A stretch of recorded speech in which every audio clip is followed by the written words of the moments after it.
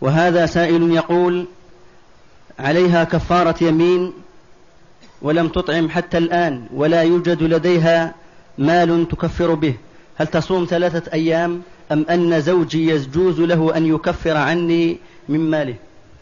ما يلزم الزوج إن كفر تبرعا منه فلا بأس يجزي إن شاء الله. وإن لم يكفر عنك فصومي ثلاثة أيام. نعم.